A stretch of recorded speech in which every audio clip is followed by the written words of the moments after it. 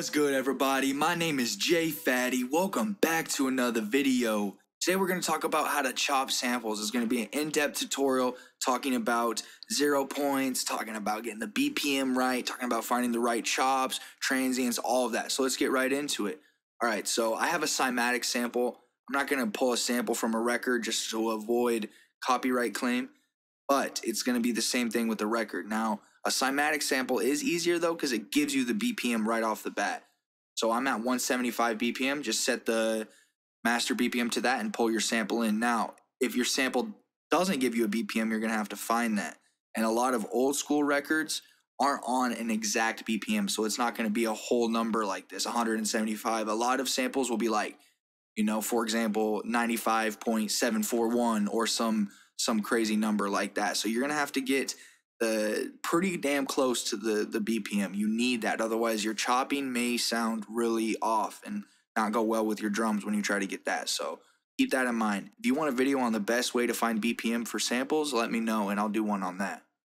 All right, so let's talk a little bit about zero point crossing. Okay, all a zero point crossing means is when you take a slice out of a chop, if you slice right at a zero point, it's gonna loop better. Okay, it's it's a little hard to explain, but just bear with me. Let's play a part of this sample and show you what I'm talking about.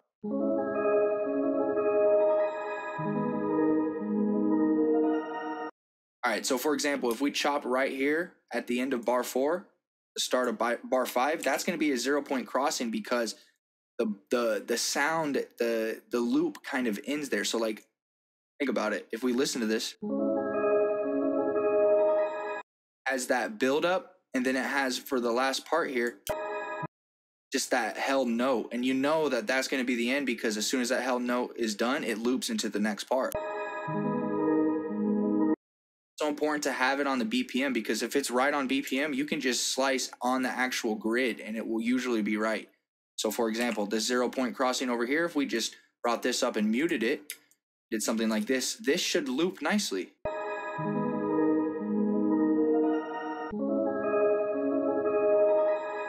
So that's all a zero point crossing is, is slicing it at one of those points to get it to loop correctly. Now there's other zero point crossings, like for example, we could even just do a slice on each bar, take these out, and just this one bar would loop.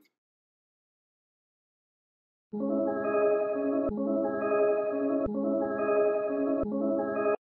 there's actually some kind of chopped, it's not looping as well, so it's not as good of a zero point crossing. And if we actually look at the waveform, we can see that ourselves. Like, look at this waveform, it's more chunky compared to when it loops. We're gonna make this a little bigger here. See this waveform, it's way too chunky compared to the, the start of the next loop. So that's why it's kind of got a little popping sound.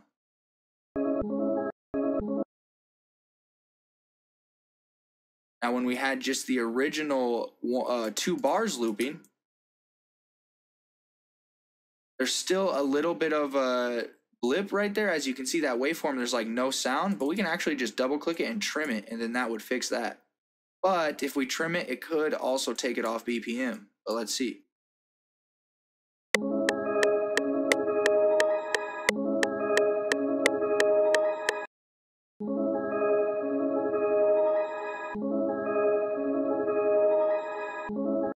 See, there is a little bit more of a blip. Now, I'm in FL Studio 21 beta, so I have these crossfades. I can just do something like this, and it would take that uh, click out or that pop.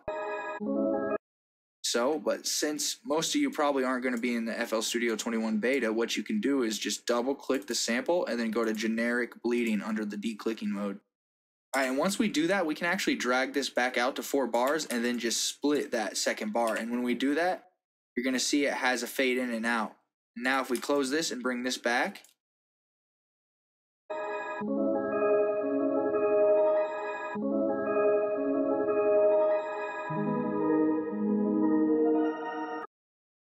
there's not really a click and pop there now. All right, now let's get into talking about transients. So if you can't really find a zero point crossing, the best way is to look at the transients, all right? And if you're not sure what a transient is, it's literally just these peaks and these valleys, these top parts of the waveform, okay? That's all a transient is. So when you see a waveform, to really define the zero point crossing, all it really is is a flat point. Okay, so there's tons of valleys and peaks inside a waveform, but that zero point crossing is a flat point, and 90% of the time, a zero point crossing point is going to be right at the start of a big transient. Okay, so as you can see here, if we look at this waveform, it gets high right here in the middle of this bar, and then it goes down, and then right at bar 17, it hits with those new transients. That's because it's a new note or a new chord. Since it's a start, I already know right there is somewhere where I'm going to want to cut and get that chop. Then we listen to it and see how long the chord or the note is dragged out. So once again, since this is on BPM, it's only two bars. And that would loop together well if we brought them down here.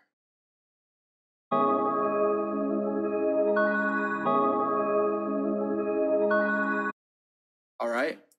Just practice with sampling and practice the waveform. It's it's definitely a skill in itself. Like you have to you have to really know where to chop and that is just going to take doing a bunch of beats with a bunch of different samples until you got it down.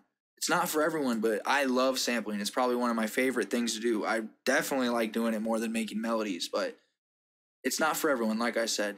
This is just sampling in the playlist. This is really bare bones. Like there's a lot of tools and and VSTs and, and effects that can help you while sampling and actually take a big part of the process out. So, yeah, that's pretty much it. If you want to see any more on sampling, let me know down in the comments. If this video brought you value, please leave a like, hit subscribe, and hit the little bell. Make sure you stay safe, stay striving, and always be getting it. Much love, y'all. Peace.